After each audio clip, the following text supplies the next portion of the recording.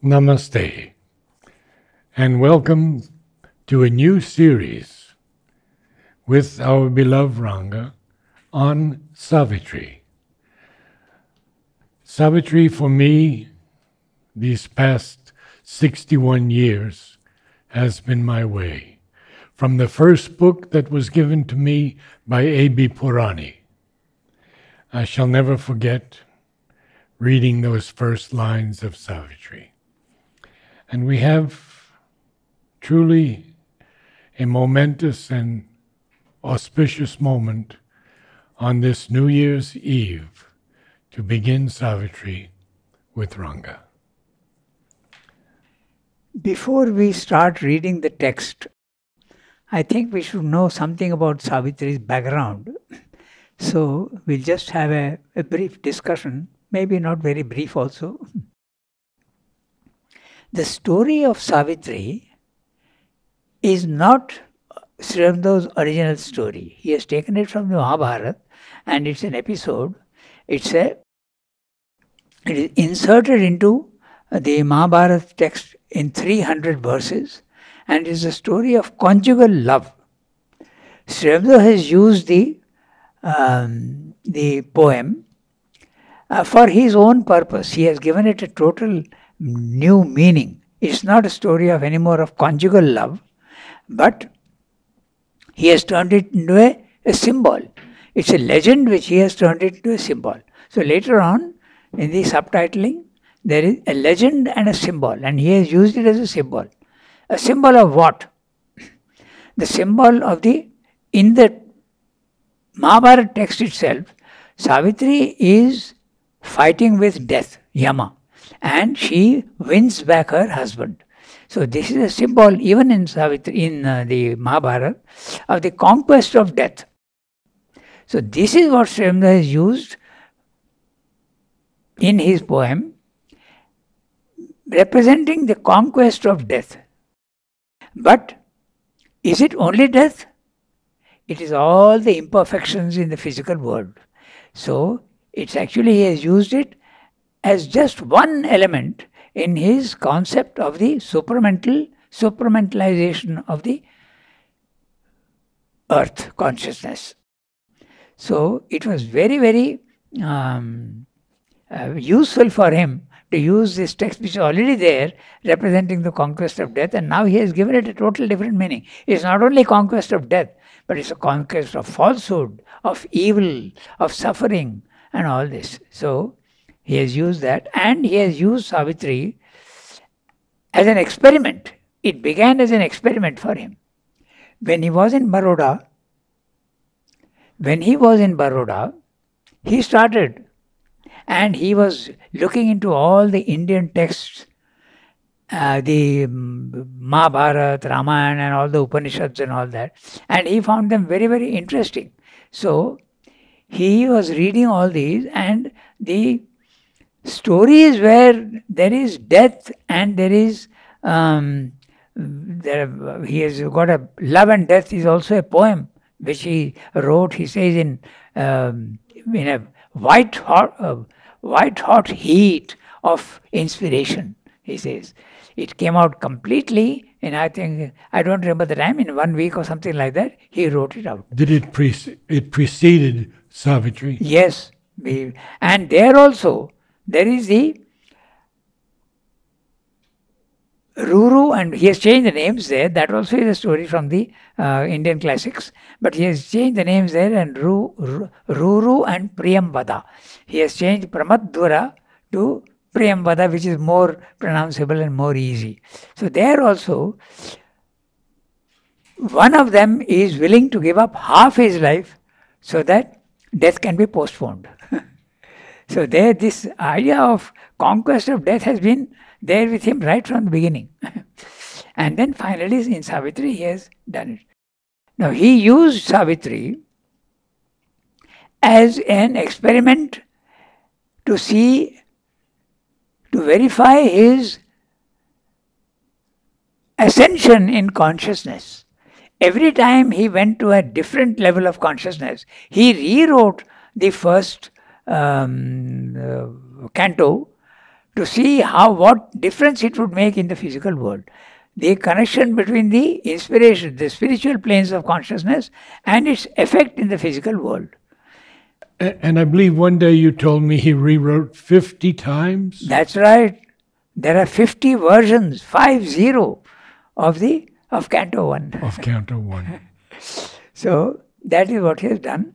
And it is also worth mentioning that Savitri is the longest epic in English poetry and literature. The longest epic, 24,000 lines. Nobody has written more than that. Milton and all the others have written epics, but not this length. And true to the construction of an epic, he has divided Savitri into three parts. And each part has divided into books and each book into cantos. This is usually the structure of an epic. You have different parts and then you have the um, the uh, the book. There are 12 books in Savitri, each book containing several cantos, and each time the number of cantos varies from each book. So has, this is what he has done, and it is incomplete. It's worth mentioning that Savitri is incomplete, just like Life Divine. Uh, sorry, uh, Synthesis of Yoga. He could not complete. It's such a vast plan he had that he ran short of time. And in fact, towards the end of his life, he was hurrying up to finish Savitri. When he asked towards the end, 19, his uh, life in Pondicherry has been divided into many, many um, uh, you mean periods. In the first period, for instance, when he came, he was intensely concentrating because he was out of the uh, revolutionary movement. In fact, very few people knew that he was in Pondicherry. So he was concentrating, walking seven, eight hours a day. In concentration. His concentration was not in a, in a seated position. He used to walk and concentrate. And he used to walk in such a way that he was not aware of the surroundings.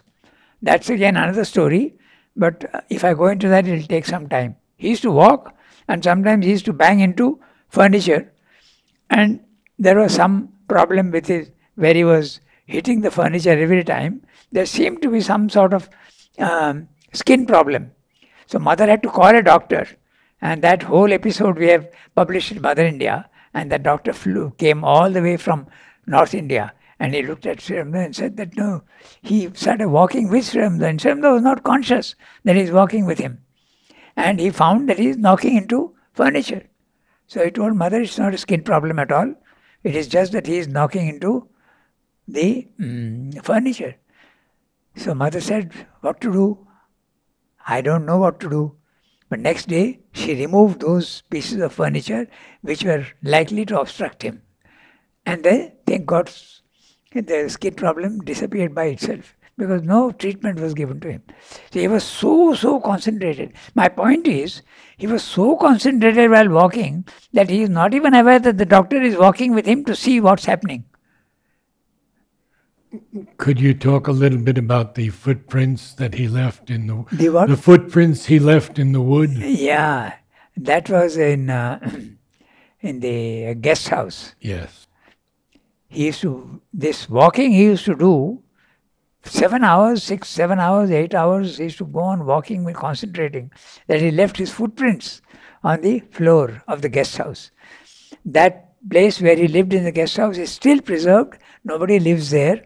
His pictures are kept and it is kept as a, a shrine. There are people who live in the other rooms but not in this guest house. So many people come and visit that room. But unfortunately, that floor has been changed and they have they thought that the floor was not decent enough, so they put tiles and all that, but in the process, the footprints are not there. so, that's right. So, after 1945, one day he asked, Niruddha was the one, his eyes started becoming dim with cataract. Okay, so he started dictating. He used to dictate, and Niruddha was the uh, one used to take down his dictation. So towards the end of uh, uh 1950, towards the end of his life, he asked Niruddha one day, what are the things which you have to complete? Because he knew what had to be completed and all that. So Niruddha told him that the book of death is still to be done. and he said, oh, that we shall see later on. And then he came to the book of fate. There's a last piece of writing which he has given where he says that mother has to uh, face Savitri actually, not mother, but I'll come to that.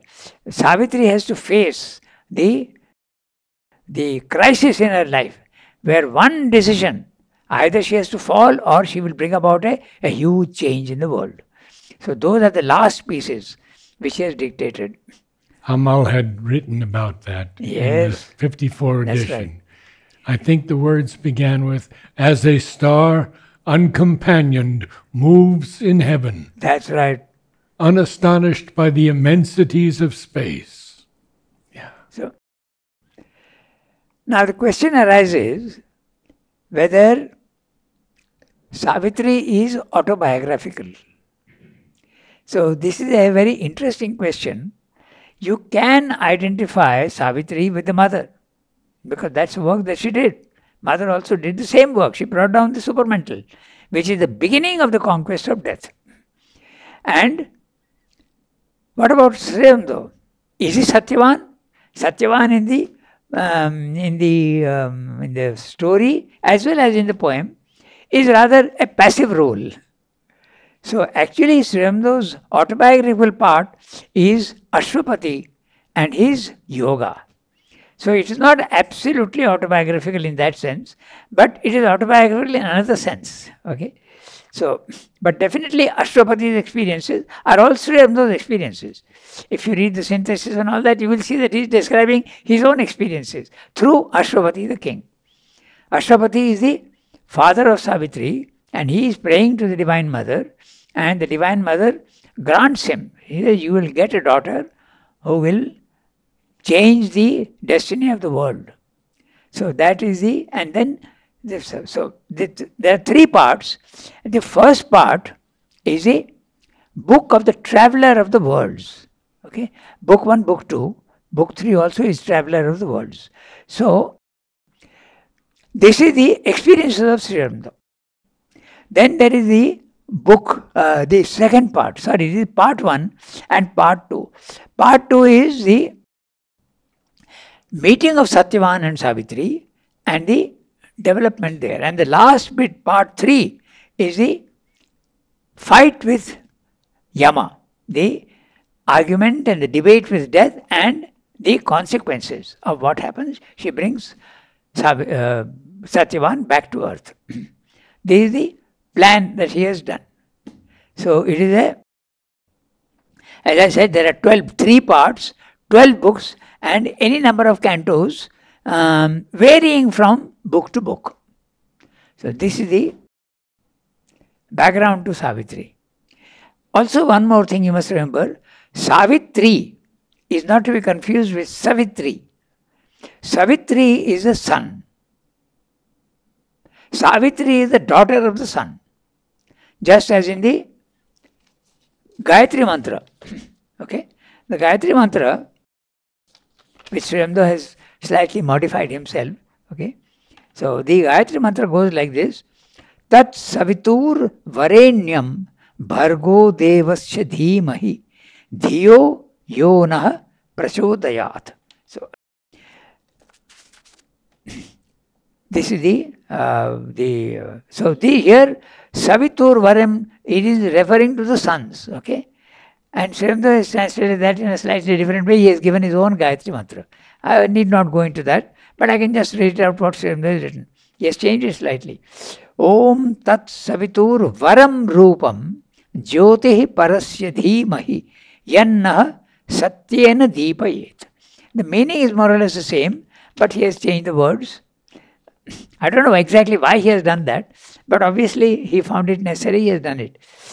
Let us meditate on that most auspicious form of the sun, whose light, let us meditate on that light, which will illumine us with truth. This is what it means. Basically, the same meaning also is there in the other one. Om Tat Savitur Varenyam, the most auspicious. Bhargo, Bharga is light. light. Devasya Dhima. Let us meditate on the light of the divine, which Dhiyo Yona Prasudayat, which will illumine our minds. Dhiya is mind, which will impel us towards the truth. So, not to be confused, Savitri is the father of Savitri. So, sometimes uh, you may get confused, so you have to be very clear about that. So, this is Savitri, the daughter of the sun. So, now the first part is the, as Swamdeva said, the book of beginnings. So, Sri uh, Savitri is on a tremendously vast scale. He is talking of the beginning of evolution and the end of evolution as, as conceived of now. The end of evolution would be the divinization of matter. So, this is what Savitri is. It begins with the inconscient producing the world and then ending with the divinization of the world. So, this is the whole. You can imagine the uh, grand, uh, grandiose, grandiosity, if you want, the grandiosity of the whole theme. It's a very vast theme. So, so the first canto is the symbol dawn. That is the beginning of creation. So we'll read that today. Okay? Good. And one thing I remembered that I, I believe it was Nirodbaran, uh, that when Sri Aurobindo asked him what remained to be done, yeah, it was also book 12. Yeah.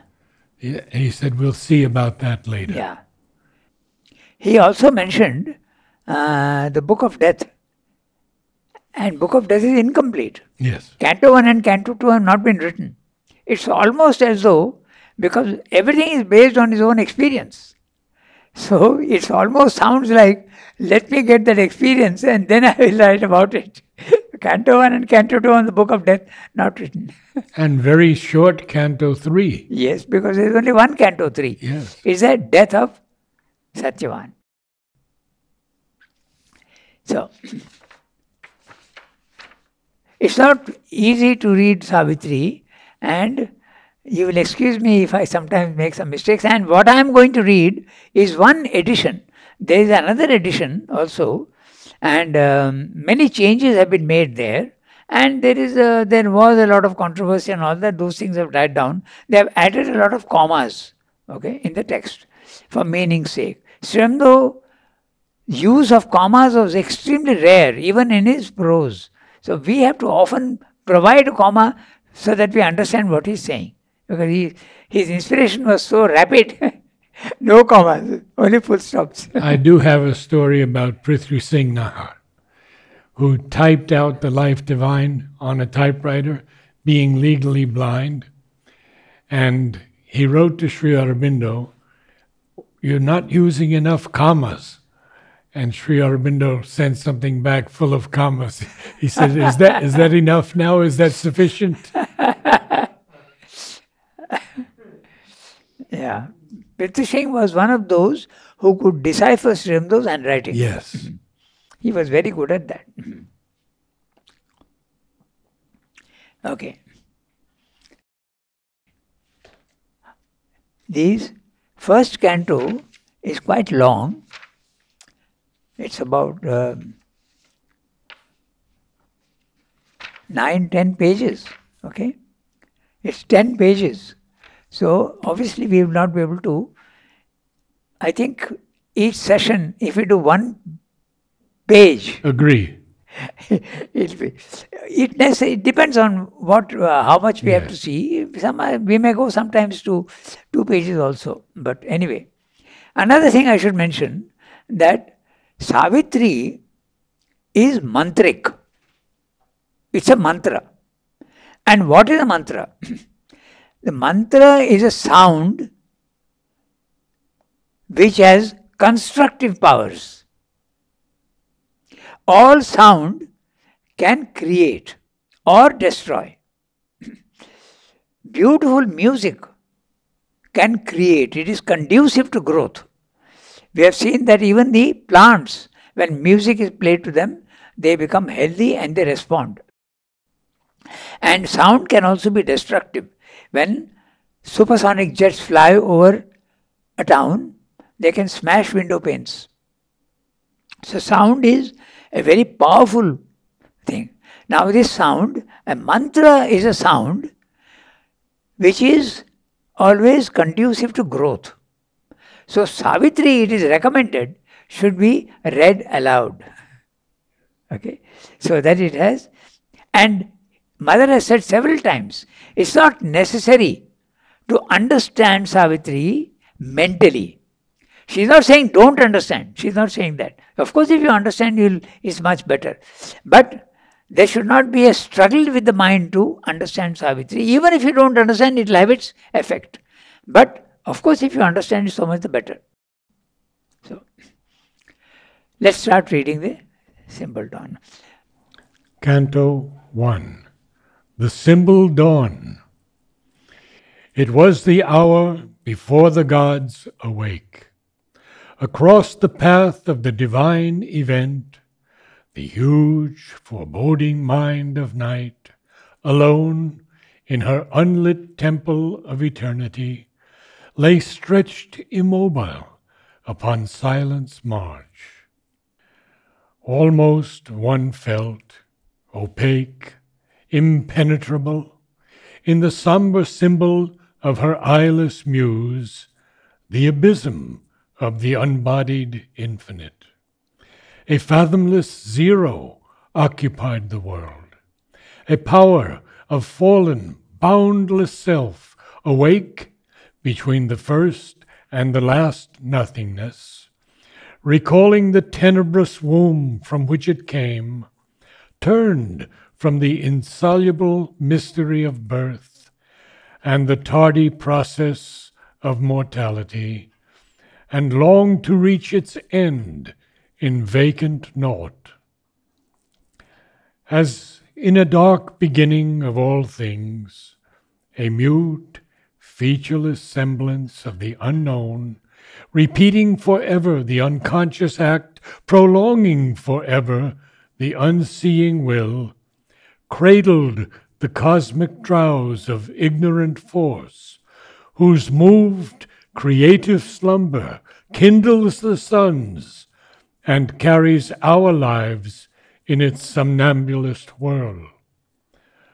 Athwart the vain, enormous trance of space, its formless stupor without mind or life, a shadow spinning through a soulless void, thrown back once more into unthinking dreams, earth wheeled abandoned in the hollow gulfs, forgetful of her spirit and her fate. The impassive skies were neutral, empty, still.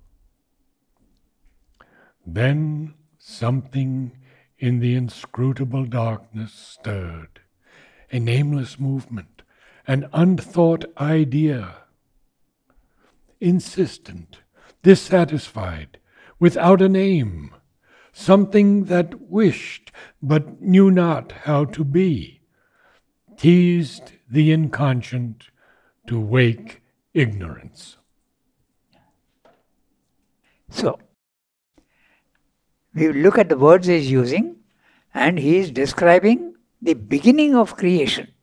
How from the inconscient, which is a negation of the divine. It is the opposite of the divine. It is darkness. It is absolutely dead. There is no life, no mind, nothing at all. And from there, life slowly comes out. So, it was the hour before the gods awake. He is not saying before the gods awoke. He is saying before the gods awake. So it's not something in time, it is something eternal. It is outside time. Otherwise, he would have said it was the hour before the gods awoke. but it's awake. So it is something that continues. The symbol dawn. Okay. So the very first canto, this, uh, the symbol dawn. The dawn is the night changing into light. That's a dawn. So night is the inconscient, and the birth of the creation from there is the beginning of light, beginning of life. So, so this is the description that he is giving. It's a dawn. okay. So it was the hour before the gods awake. In other words, the beginning of creation. Across the path of the divine event, the huge foreboding mind of night alone in her unlit temple of eternity. So let's look at this. The huge foreboding mind of night. There is a mind, but it is darkness. So it's involved. Okay. And in her, is that that's why it's foreboding? Yes, that's right. Foreboding uh, to board is to have omens. It bodes ill, if you say, it means that it's going to end badly. It's an omen. It's a verb that describes omen. Okay, um, it can be good or bad. So foreboding, thinking of something which is going to happen, mind of night, alone in her unlit temple of eternity. I'll read out all the words which suggest the in, uh, the inconscient. Okay, so Okay, I'll write, write it up just now. This is the description of the inconscient. Unlit, no light. Immobile, no movement. Opaque, lack of light. Somber, dark. Impenetrable, thick, and very, very dense. Okay. Eyeless, there is no vision there. Abysm, again a chasm. Okay unbodied. There is no form at all. Okay? Zero, fathomless, infinite. The inconscient is infinite.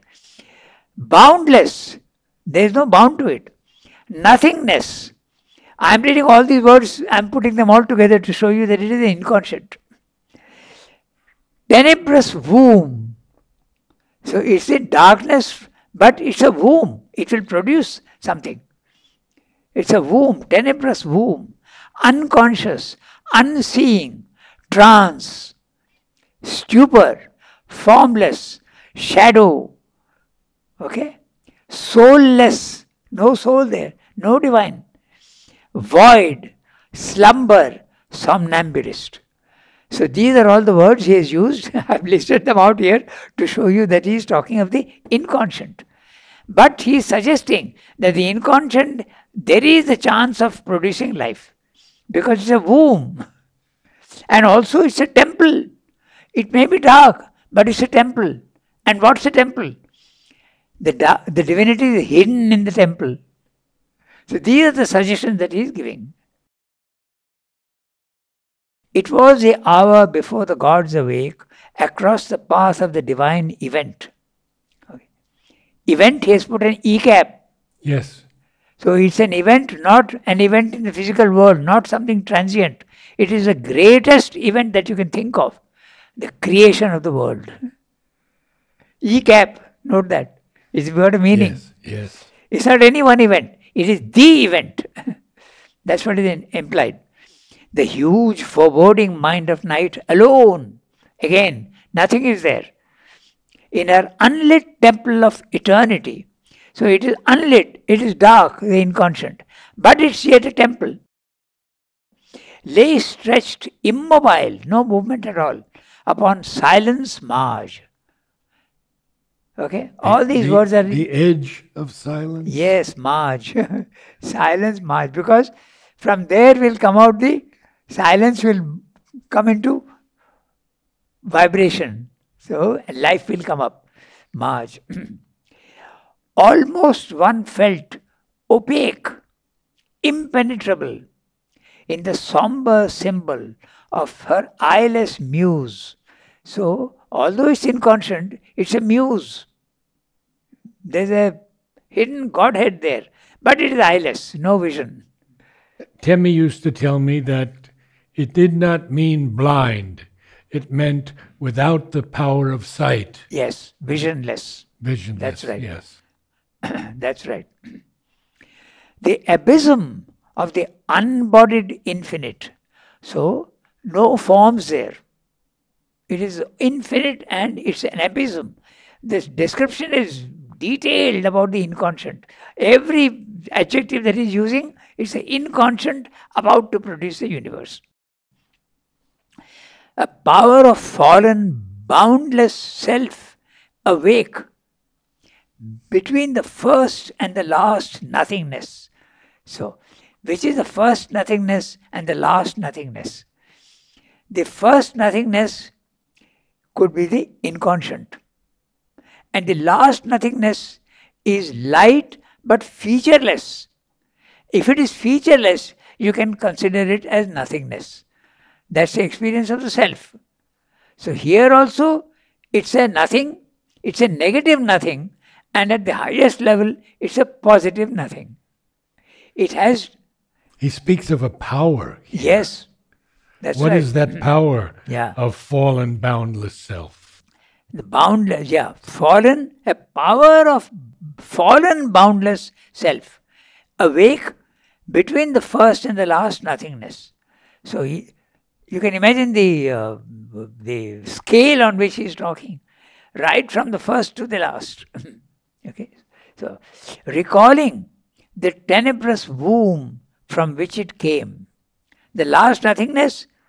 It recalls the tenebrous womb from which it came turned from the insoluble mystery of birth.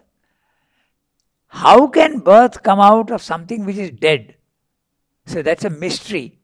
This is a great mystery. How can it happen?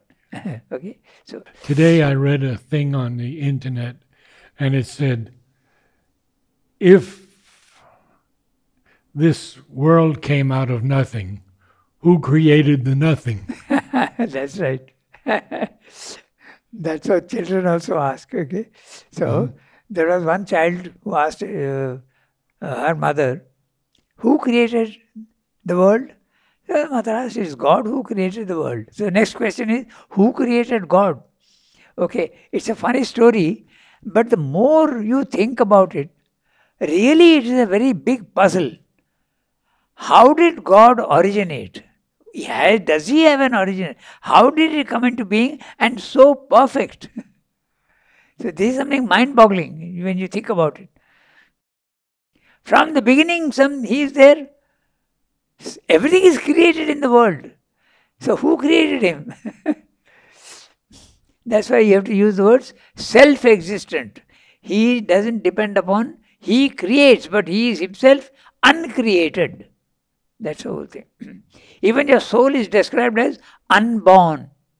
It is eternal. so this eternity is, when you think about it at our level, it's really a puzzle. And then we have twice in Savitri self born, Yes, that's right. both referring to Savitri and to Ashwapati. Yes. Self-born means eh, he, creates himself. That will also be the power of the supramental being. They will be able to create themselves. They are not created, but they will be able to create themselves and also dissolve their own existence. okay, so turned from the insoluble mystery of birth and the tardy process of mortality. So, if mortality is there, obviously, question of life comes up, and life is a tardy process. So, he has used the word mortality to mean life. that, but it's a slow growth. First, there was only matter, and then slowly, over millions of years, life came up. Okay, so that's what it Could, means. could we look at the ending of the par- uh, the full stop? A fathomless zero occupied the world. Then he speaks of this power Yeah, of fallen, boundless self. Could you elaborate on that? a fathomless zero. No, what this power is between the first and the Oh. last nothingness. Okay, the fallen boundless self. Okay, so at the highest level is Satchidananda. But Satchidananda, when it creates the world, it has to necessarily create it by falling and reducing its own power, consciousness, substance, and ananda. It has to reduce. Why? That's why he's using the word fallen. Okay? So, why is it necessary to. All creation is necessarily a diminution. I usually uh, give to myself the mm, the mm, the image of a vast amount of clay. Okay, let's think of a vast amount of clay, which is infinite, but it has no forms. It's a formless mass, but it has the potentiality to create forms. It can create forms. It can create cups, plates, vessels, and all it can create.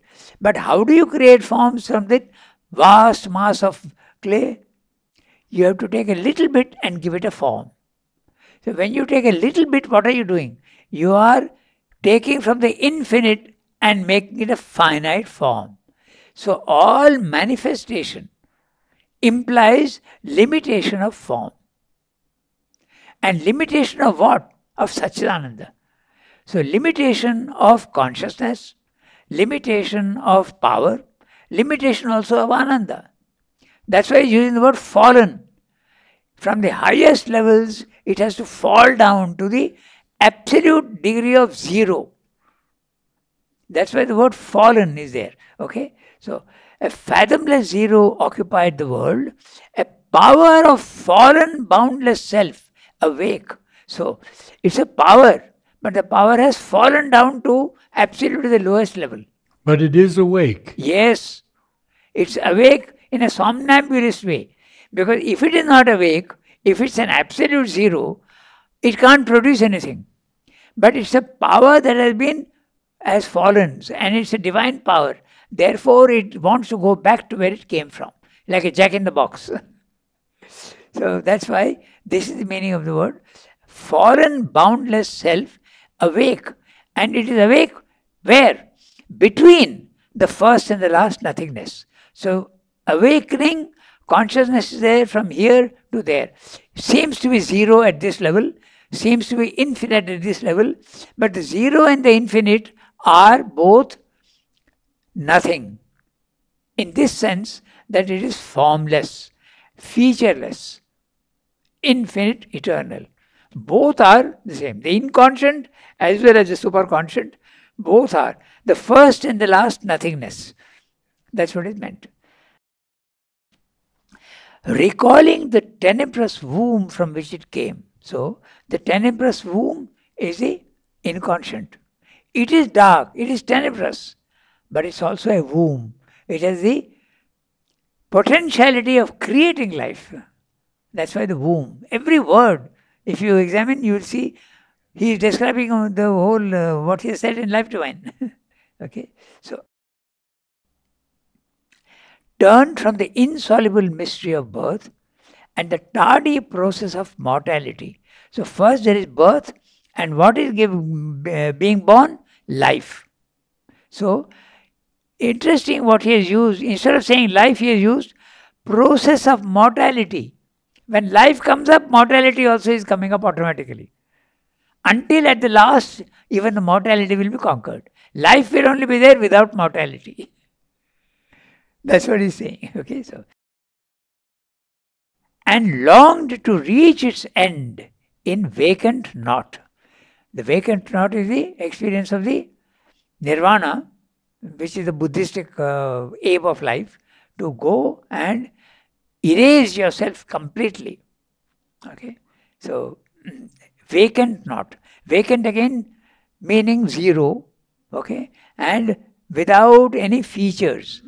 Something which is vacant can be without features, but that which is without features can have two characters. It can really be a zero capable of producing nothing. because there is nothing in it. But it can also be a featureless nothing which has the potentiality to produce everything. So, this power, then, it's awake between Yes, this first. that's that, right. But It's- it wants to end itself Yes, in vacant naught. yes. And um, uh, he has used uh, this, uh, the whole epic is written in iambic pentameter. That means each line has got five feet. And usually he tries to keep small sentences. It goes only to two or three lines each, or sometimes four or five maximum. But always you'll see that a full stop is coming after every four or five uh, lines. So short sentences and sometimes standalone lines. Each line can stand by itself. Okay, he has said that. In fact, there is a hundred pages of commentaries by Sri Aurobindo on Savitri, and that's another interesting story which you should know also. Okay, as I said, Savitri was started long ago. Okay, it began, but he at that time he never had the idea that it would end up like this. Okay, he just started it, and when he was in Pondicherry, he was encouraging everyone to write poetry, and uh, Amal was one of those who was had a poetic uh, tendency, and he was asking him. Um, Sri Aurobindo used to send inspiration to people. They, I, I should mention this. It is Sri inspiration which people used to receive and write down. Okay, it's not their own creation. Most of the poetry written by all Niruddha as well as uh, Amal Kiran, as well as um, uh, uh, Arja, Arjava, Arjava, Arjava also. Oh, yeah. Fantastic poetry, all of them. But it was those inspiration which he was sending to them. The proof is that Niruddha is saying to Sri Aurobindo, "Ah, why aren't you sending me inspiration? So Sri Aurobindo says, okay, tell me when do you sit for writing poetry? I will see what I can do. So what does it mean? It means that now he is sitting and he is ready to receive. I'll send it to him. So he is very clearly sending poetry. And after Sri Aurobindo passed away, no more poetry of all these people. They stopped writing. No inspiration. So, so this is the, so Nir, uh, Amal used to ask him questions all about poetry and all that. And Sri said that some, some of the poetry comes from the psychic, some comes from the inner vital, some comes from the spiritual planes of consciousness, some from the higher mind, illumined mind, intuitive mind, and all. And these he called overhead poetry. Okay. So Sri he wrote to Sri Aurobindo, can you give me some examples of overhead poetry? So Sri Aurobindo said, okay, I'll send you some. And he sent him the first lines from Savitri. And, but he said, don't reveal it to anybody. So N- Nalida was the messenger. So it used to be a sealed envelope, and Nalida used to take it and give it to Amal. But Nalida, being Nalida, he was curious as to what is in that envelope. Why is Sri sending this in a sealed envelope? So he asked Amal, you know, not in words, but with a gesture, what is there in it? So Amal asked Sri that he is curious to know what is there. Should I tell him? so then Sri says, you can tell him only him, but don't tell anybody else. So this developed into Savitri afterwards. It's fantastic. And so he used to go on sending these fascicules to Amal. And Amal had the temerity, I must mention that also, to suggest changes. Oh, yes, yes.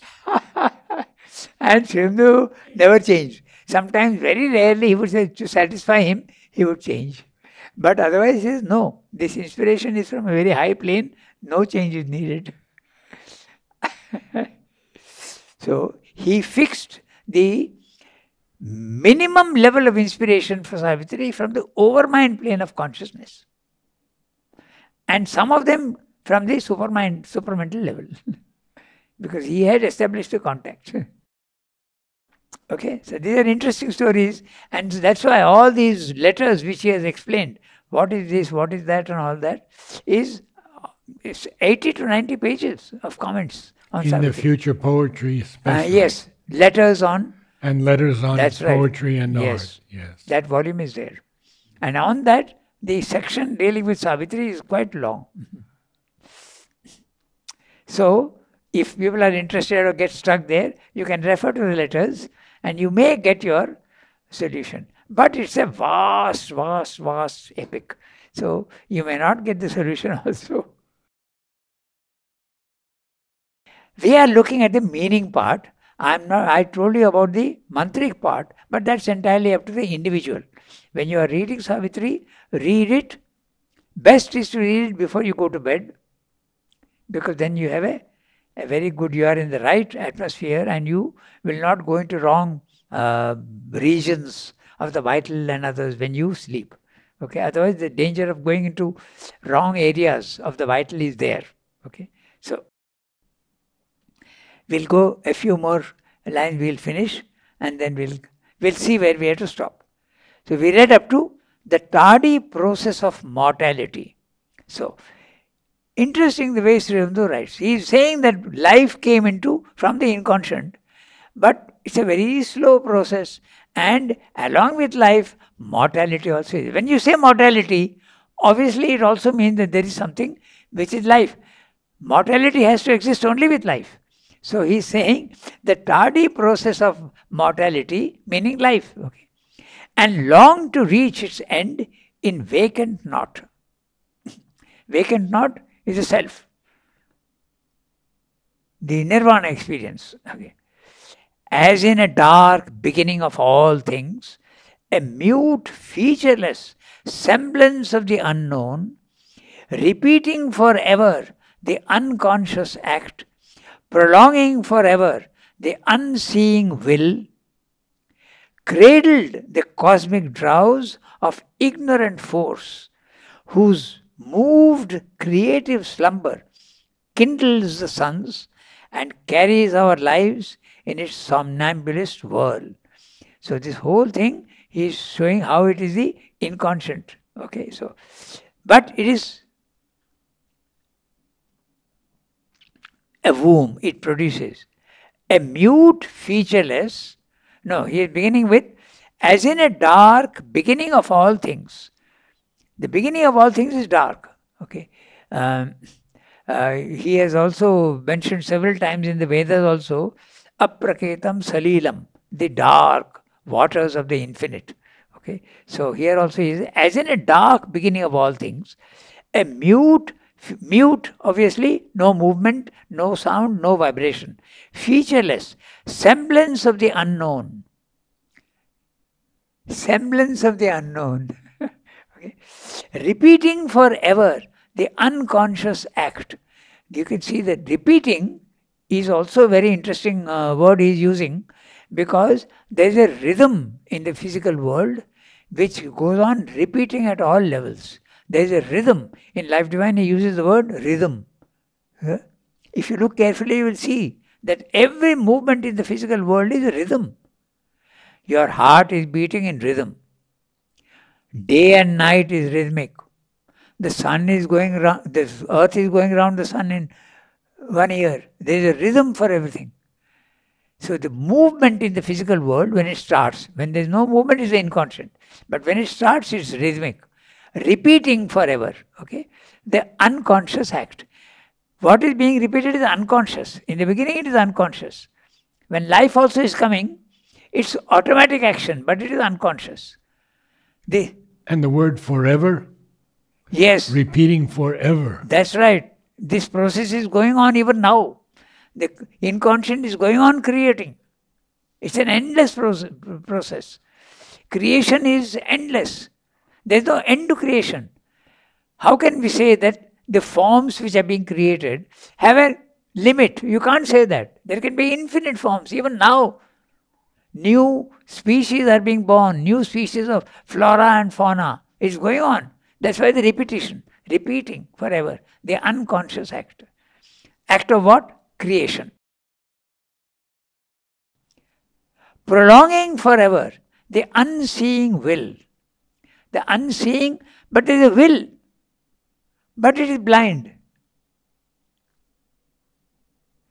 He has explained this, what he means by this, that this superconscient is there even in matter. And that is why matter, there is a consciousness hidden in matter. So it is will, but it is unseeing, it is sleeping. He has used the word somnambulist, half awake. okay, so athwart the vain, enormous trance of space. Again, you can see the word trance. When you are in trance, you are not conscious of the world. So it's a semi conscious state. Actually, trance, your, your consciousness above is in full consciousness. But in the physical world, when you are in a trance, you are not aware of the physical world. That again suggests the unconsciousness. I asked Timmy about athwart. Hmm. She said moving from side to side. Athwart, across, like yeah. that. Yeah. Athwart. uh, athwart is a word used by sailors. It means sideways, across, okay? It can also mean awkwardly and the wrong angle. Hmm. I've noted down the uh, meanings. Athwart, used by sailors mainly, when the ship moves like that, sideways. Okay, so the vast, enormous trance of space, its formless stupor. Again, he is stressing. All the words are suggesting lack of creation, but it's a womb. It's an unseeing will which has gone to sleep. So, this is the description of the inconscient. No movement, no life, nothing, darkness, yet it is capable of producing. That's why he's using the word the insoluble mystery of birth. Something you cannot understand. How is how can something dead produce something living? That's a mystery. And the mystery is solved when you understand that the inconscient has the power to reduce itself and become the opposite of itself. God is not only omnipotence, omnipresence, and omniscience. He can also be the opposite of all these things. Normally, we would say God is necessarily omnipotent, omniscient, and omnipresent. But that's not true. he can, he has the power to become the opposite of himself. Okay, so a shadow spinning through the soulless void, again soulless. There seems to be an absolute negation of the divine in the inconscient, thrown back once more into unthinking dreams. Okay, earth wheeled, abandoned in the hollow gulfs, forgetful of her spirit and her fate. So here we have some questions. Yeah. He's speaking now about earth. Yes, that's right. So, so from the earth is inconscient, turning, he has come to the earth. and what is this stupor? Formless stupor. Stupor is again when you are in a stupor, you are unconscious and you are puzzled. So the uh, the uh, suggestion is you are unconscious and yet there is a, a, um, a puzzlement. You are uh, you are confused. That's what the implication is there. That's what the inconscient is all about. So he, he's telling us that uh, he's speaking of earth now. Yes, that's right. And this is the first time we've heard about that's earth. right. Okay. Until now he has been speaking of the infinite inconscient. Now he's speaking about the earth. Because after all, earth is only one small speck of matter compared to the universe. so now he's focusing on the earth. Wheeled, abandoned in the hollow gulfs, forgetful of her spirit and her fate. Now note the word hollow gulfs. Even science will confirm that to you. Space is hollow. And in that space, you have all these constellations and galaxies and whatnot, infinite. And in all this scenery, there is the small earth spinning around the sun. In fact, in Life Divine, he has said, he has described the earth. If you view it in terms of the cosmos, the infinite cosmos, earth is nothing but a, a speck of dust with water in it. she described that in the Life Divine like that. It is nothing but a mere speck of dust. That's the vastness that he's describing here. You can feel that sense of vastness in these lines. Okay. So, forgetful of her spirit and her fate. The impassive skies were neutral, empty, still. This is a one line sentence. Okay. The impassive skies. Impassive, not being affected by anything. No emotion, nothing at all. Absolutely static. And he's talking of the skies, neutral, empty, still. Then something in the inscrutable darkness stirred. Now, this is the, he has been speaking of immobility. Now, the creation starts from the inconscient. So, there is a stirring. Okay? And the inscrutable means impossible to understand or interpret. That's the meaning of the word inscrutable, impossible to understand. So, in the inscrutable darkness, stirred something, movement started. A nameless movement an unthought idea. Ideas are thought, but he's saying it's an unthought idea. What does it mean? It means the possibility of mind also, it can suggest. Because it's the mind that thinks, the ideas. Ideas are not there in the vital, they are there in the thought, in the mind. So, but unthought idea not yet taken form, not yet taken shape. Insistent, dissatisfied, without an aim, something that wished but knew not how to be. Tease the inconscient to wake ignorance. So there's a the as you said, the idea of involution, the superconscient reduces itself diminishes itself and becomes inconscient and hides in it. But because it is divine in essence, it doesn't want to be imprisoned, so it wants to break out. So it's a urge to break out without knowing where it is going. That's what he's saying. Okay? Tease the inconscience to wake consci- ignorance. Ignorance is again darkness. Okay? So start moving. Go to uh, knowledge. It is pushing. That's it. Thank you so much. Thank you. And uh, we'll end there today. Namaste all. Thank you.